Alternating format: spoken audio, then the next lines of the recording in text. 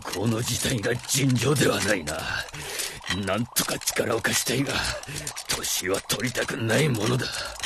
海軍大将一人止めといてまだ欲張られちゃ、わしの達成がない。いい加減にしきなさいよへえ。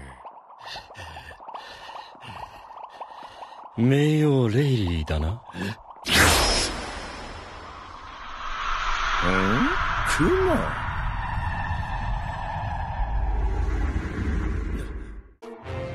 お前の言うことを私に信じろと。貴様の自由だ。俺も立場を危ぶめている。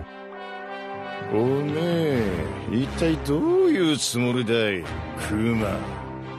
政府の息のかからない事例では我々が海軍と仲良くする義務はない質問には答えない。